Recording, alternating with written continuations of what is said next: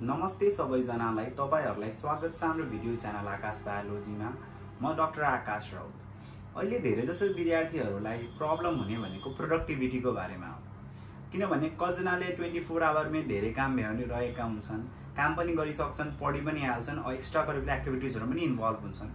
तर कतिजनाहरूले एउटै काम पनि राम्ररी भ्याइरहेका हुँदैनन्। यो अहिले सबैभन्दा ठुलो प्रब्लम भएर आएको छ। त्यही बारेमा आज हामी सिम्पली डिस्कस गर्नेछौँ।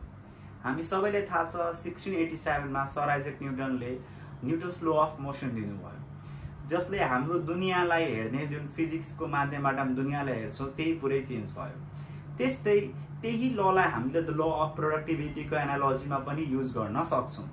That is Newton first law of motion second law of motion third law of motion जस्तै Newton's first law of productivity second law of productivity र थर्ड ल अफ प्रोडक्टिभिटी यी तिनटैलाई हामीले मजाले एक आपसमा समावेश गरेर अगाडि बढ्न सक्छौँ।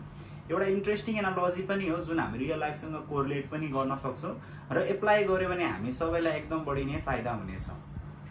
सो पहिलो आउँ हामी Newton first law of motion अब साइन्सका विद्यार्थी हुन्छ सबैलाई थाहा होला त्यसलाई ल अफ इनर्सिया पनि भनिन्छ। Means a body in rest tends to be in rest a body in motion tends to be in motion until unless a force applies in it भनेको अर्थ कुनै पनि वस्तु रेस्टमा छ भने त्यो रेस्टमै बस्न खोज्छ यदि कुनै पनि वस्तु मोसनमा छ भने मोसनमै बस्न खोज्छ। अन्टी अनलेस त्यसमा हामीले कुनै फोर्स अप्लाई गर्यो भने त्यो मात्र हिँड्ने हो या फिर हिँडिरहेको वस्तु त्यहाँ रुक्ने हो। त्यस्तै हाम्रो लाइफमा पनि हुन जान्छ। तपाईँ हामी यदि कुनै काम गर्नु भइरहेको छ भने मानौँ हामी बजाले बेडमा सुतिरहेका छौँ है त। एउटा इक्जाम्पल मानौँ। र मनमा मलाई जस्तो वेट लस गर्नु छ त मलाई बिहान जगिङ जानु छ। त हामीले कुनै पनि कुरामा हेऱ्यो भने सुरुवात गर्न सबैभन्दा गाह्रो हो। है त हामी जहिले पनि हुन्छ प्रोक्यास्टिनेट गर्छौँ त भोलिवाद हुन्छ नि त। ए यो काम त भोलि गर्छु आज नगरौँ भोलि गर्छु। किन त? स्टार्टिङ फेज सबैभन्दा गाह्रो हो। इक्जामको जुन फर्स्ट इक्जाम हुन्छ नि त्यो फेस गर्न सबैभन्दा गाह्रो। सेकेन्ड थर्डमा हाम्रो बानी लागिसकेको हुन्छ। मिन्स जहिले पनि के हो स्टार्ट फेस गाह्रो हो। त्यही भएर हामीले पनि न्युटन्सको ल जस्तै एउटा फोर्स अप्लाई गरेर आफूलाई के गर्नुपर्छ त अगाडि बढाउनु पर्छ त्यही भएर मैले चाहिँ एउटा फेमस भन्छ टु मिनट च्यालेन्ज जहिले पनि फलो गर्छु।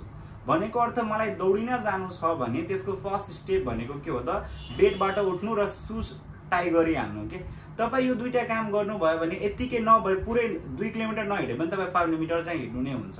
ए यति काम त गरिसक्यो अब गरि नै हालौँ न। यदि मलाई पढ्नु हुन्छ नि सो मैले के गरिसक्छु त? अब म एकैपल्ट पुरै च्याप्टर त कहिले काहीँ हुन्छ नि बोरेडम त भइरहेको हुन्छ पढ्न मन लागिरहेको हुँदैन। So at that point of time मैले आफूमा अब पढाइ त कसरी गर्ने? त्यति बेला म के गर्छु? बेसिकली कपीमा लिएर पेनबाट केही न केही कोर्न थाल्छु दुई तिन लाइन लेख्छु। त्यसपछि मलाई आफै पढ्न लागि मन जाग्न थाल्छ के? यो सबै के हो त हाम्रो? फर्स्टमा स्टार्ट फेज गाह्रो हो। र जब एउटा कुरा मोसनमा गइसक्यो भने त्यो मोसनमा चलिरहेको हुन्छ क्या मानौ न तपाईँ अब दौडिँदा हिँड्न थाल्नु भयो सय मिटर नै ठिकै छ नि two hundred metre three hundred metre त्यसपछि बडीमा एउटा इनवर्ड मोटिभेसन आइरहेको हुन्छ कि? यो सबै हाम्रो लले गभर्न गरेको छ। त्यस्तैमा पढ्न थाल्यो भने पढिराख्न मन लाग्छ।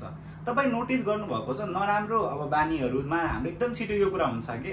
मानव झ्याउ लागिरहेको छ भने मोबाइल लिनु मोबाइलमा तपाईँले फेसबुककोमा हुने रिल या इन्स्टाग्रामको रिल हेर्न थाल्नु भने थर्टी मिनट्स कति बेला बित्छ थाहा लाग्दैन नि। हो त्यसमा पनि तपाईँले हेर्नु त एकपल्ट स्टार्ट गरिसकेपछि थाहा लागेन नि त। स्टार्टिङ फेज त्यहाँको चाहिँ इजी छ? तर रियल लाइफमा पढाइको हुने कुरा गाह्रो छ। तर तपाईँले गर्न सक्नुहुन्छ जस्तो मलाई लाग्छ। म अहिले पनि आफूलाई यसरी नै मोटिभेट गरिरहेको हुन्छु कि? अब पढ्न मन लागेन भने मजाले टक्क लाएर त्यो ठाउँ सफा गर्ने टेबल लाएर गएर किताब राख्छु नभए पनि मोबाइललाई चाहिँ साइड राखिदिन्छु। अनि त्यहाँ स्टार्ट गऱ्यो भने त्यो पढ्न चाहिँ सकिन्छ। त्यही भएर तपाईँले अगर स्टार्ट फोर्स अप्लाई गर्नुभयो आफूमा भने तपाईँको बडीमा मजाले मोसन भइरहेको हुन्छ। यो लाइभलीहुडमा पनि यसरी नै काम गर्ने हो। So first Newton's first law of मोसनमा तपाईँले के बुझ्नुभयो? फर्स्ट ल अफ प्रोडक्टिभिटीमा कि प्रोक्यास्टिनेसन छ। तर स्टार्टिङ फेजको लागि मैले टु मिनट च्यालेन्ज अप्लाई गरेँ भने हामी अगाडि बढ्न सक्छौँ। अब second law of motion that is the second law of प्रोडक्टिभिटीसँग एनालोजीले कोरिलेट गरौँ त। सो यो फोर्स सेकेन्ड ल अफ मोसनलाई हामीले सिम्पल भाषामा के भन्छौँ त? Force equals to mass into acceleration है त? हामी सबैलाई थाहा छ the force applying on a body is product of mass and acceleration भनिदिन्छौँ हामी or the rate of change of momentum भनिदिन्छौँ। दाइले त्यति पनि बिर्सिनु भएको छैन फिजिक्स एन्ड मोमेन्टम इज के भयो त हाम्रो? छोडिदियो त्यो कुराहरू। है त? सो बेसिकली हामीले के हेर्छौँ त? Force equals to mass into acceleration और acceleration equals to mass by force आयो कि आयो फोर्स बाई मास आयो कि आएन आयो। त हामीले के हेऱ्यो फोर्स एउटा भेक्टर छ। यहाँ के छ त एक्सेलरेसन पनि भेक्टर छ। र भेक्टरमा जहिले पनि दुईवटा कुरा हुन्छ। एउटा म्याग्निच्युड हुन्छ र एउटा डाइरेक्सन छ। त्यही भएर तपाईँले जुन पनि कुरा मेहनत गर्नु भइरहेछ मलाई कुनै पनि कुरामा लाग्नु छ भने म जहिले पनि भन्छु नि in order to get success we need two things a burning desire to get succeeded and the right direction to achieve it. मिस तपाईँले जति पनि मेहनत गर्नुहोस् तपाईँमा राम्रो डाइरेक्सन छैन भने तपाईँ अगाडि बढ्न सक्नु हुँदैन त्यस्तै मानव तपाईँ इन्ट्रान्समा पढ्नु भइरहेको छ भने पढिराखेका हुन्छ पढिराखेका हुन्छ। तर के पढ्ने कुन डाइरेक्सनमा पढ्ने त्यो थाहा भएन भने अगाडि बढ्न सकिँदैन। त्यही भएर त तपाईँ एउटा इक्जाम्पल लिनु एउटा एमबिबिएस स्टुडेन्टको है त। एमबिबिएस स्टुडेन्टको उसले अब मेहनत गरेर अथक मेहनत गरिरहेको छ।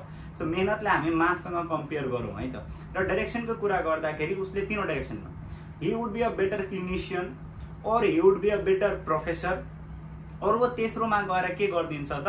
आफू सबै कुरा छोडेर एउटा मानव एन्ट्रप्रेन्योर बनिदियो। जस्तो हाम्रो नेमको सर हुनुहुन्छ नि उहाँ एन्ट्रप्रेन्योर बनिदिनु भयो। भगवान् कोरेला सर एकदमै राम्रो क्लिनिसियन बनिदिनु भयो। या फिर प्रोफेसरको इक्जाम्पल भने हाम्रो एनाटोमीको सर निर्जु रञ्जित सर बनिदिनु भयो। So everyone has their own different way है त? तर त्यहाँ कमन एउटा कुरा के थियो त? हामी सबैसँग एउटा सिम्पल कुरा भयो। के त? हामी सबैले मेहनत गरिराख्नुपर्छ। जुन हामी डाइरेक्सन भन्छौँ यो डाइरेक्सन हामी हाम्रोमा प्रेजेन्ट भएको हुन्छ। तपाईँ कुन डाइरेक्सनतिर आफ्नो वेलाई लग्नुहुन्छ के? जहिले पनि कुरा डाइरेक्सन एउटा सर्ट टर्म गोल र लङ टर्म गोलमा आउँछ। हो म मेहनत गरिरहेको छु तर मेरो डाइरेक्सन कहाँ छ त फेसबुकमा छिटोभन्दा छिटो रिप्लाई गर्ने। त्यसको आउटकम पनि त्यही हिसाबले हुन्छ कि? हामी भर्चुअल वर्ल्डमै बस्न थाल्छौँ। तर रियल वर्ल्डसँग कम्पिट गर्नको लागि त मलाई रियल वर्ल्डमा मेहनत गर्नु पऱ्यो कि परेन? मेहनत गर्नु पऱ्यो नि त। हो त्यही भएर हामी रियल वर्ल्डमा मेहनत गर्नको लागि रियल वर्ल्डकै डाइरेक्सन चाहिन्छ। आई नो यो सबैलाई पढ्न लागि हार्ड लाग्छ।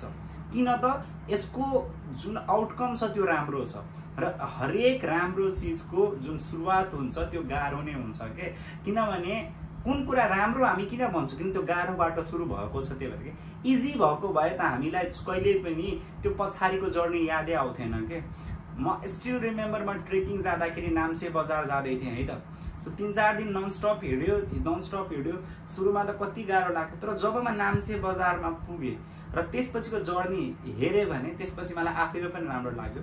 र यो वर्थ वेल थियो के कि म त्यतासँग पुगेँ। म अलिकति हिँड्न सक्थिनँ पहिला तर मलाई लाग्यो नै म गर्न सक्छु। त्यही भने नि हेर्नु त न्युटन्स ल फर्स्ट मोसन जस्तै सुरुवात गाह्रो थियो। सेकेन्ड ल जस्तै के भयो? त मलाई डाइरेक्सन दियो मलाई ट्रेकिङमा जानु छ जानु छ। त्यही हिसाबले मेहनत गरेँ त्यहाँ पुगेँ।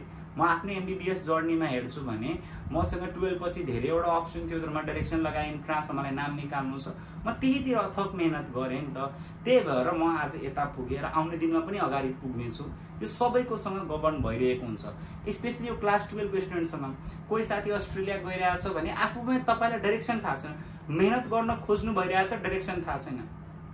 ए यो साथी त अस्ट्रेलिया गइरहेको म अस्ट्रेलिया जान्छु। ए अर्कोले भन्छ ए एमबिबिएसमा केही पनि छैन केही हुँदैन। ऊ फेरि त्यसपछि आफैमा अन्यलमा छ के? ल त्यसपछि म ल पढ्छु या कमर्स पढ्छु तेस्रो भन्छ म सिए पढ्छु कोही भन्छ यो? तपाईँ आफ्नो डाइरेक्सन आफ्नो गोल मलाई थाहा छ तपाईँहरू सबैजनामा म्याग्निच्युड छ तर डाइरेक्सन तपाईँले आफै गभर्न गर्ने हो। त्यही भएर सेकेन्ड ल अफ जुन प्रोडक्टिभिटी छ यो basically deals with the amount of work you do and the direction you have है त? यो दुवैलाई कम्बाइन गर्ने। अब आयो तपाईँहरूलाई थर्ड लो है त। Newton's third law of productivity that is for every action there all there is equal and opposite reaction त्यस्तै हाम्रो लाइफको ब्यालेन्स एन्ड इक्विलिब्रियम मेन्टेन छ। जस्तो म छु मलाई प्रोडक्टिभ फोर्सहरूले पनि गभर्न गरिरहेछ र एउटा अनप्रोडक्टिभ फोर्सहरूले पनि गभर्न गरिरहेछ। मानव आकाश दाईको लाइफमा प्रोडक्टिभ फोर्सेसहरू के छन् त? मेरो भित्र आउने मोटिभेसन छ मलाई अगाडि बढ्न लागि मेरो स्टडी छ मेरो वर्क छ this all are productive forces unproductive फोर्सेसहरू मेरो लाइफमा के छ? सोसल मिडिया अर्को कुरा भनेको स्लिप सुत्ने टिभी साथीहरूसँग रमाइलो गर्ने. These all are unproductive forces र यो दुवैको इक्विब्रियममा म बसेको छु। अब हेर्नुहोस् त मलाई त अगाडि बढ्नु छ मलाई त मोर एन्ड मोर प्रोडक्टिभ हुनु छ। त अब मेरो बडीलाई अप्रोडक्टिभ र अनप्रोडक्टिभ दुवैतिर तानेर राखेको छ भने मलाई कहाँतिर बडी सार्नु पऱ्यो त प्रोडक्टिभिटीतिर सार्नु पऱ्यो त्यो त्यसलाई हामी युज गर्न के भन्छौँ त पावर थ्रु इट भन्छौँ है त। So means sum of the forces should be add up है त। मानव मलाई पढ्नु छ तर पढ्न या फिर मलाई जगिङ गर्नु छ। त हामी पढ्नलाई के गर्छौँ त बिच बिचमा मोटिभेसनल भिडियो हेरिहाल्छौँ।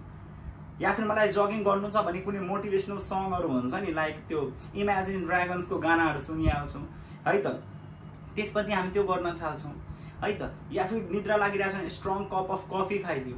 सो यो पावर थ्रु इटले के गर्यो त हाम्रो बडीको अनप्रोडक्टिभ फोर्सेसहरूलाई प्रोडक्टिभिटीतिर लगिरहेछ कि छैन? हाम्रो बडीले ड्र्याग गरिरहेछ कि छैन?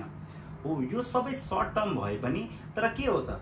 हरेक सर्ट है त कुराहरू नै एउटा लङ कुरा बनिरहेको हुन्छ क्या every drop of water in the sea counts भनिन्छ नि।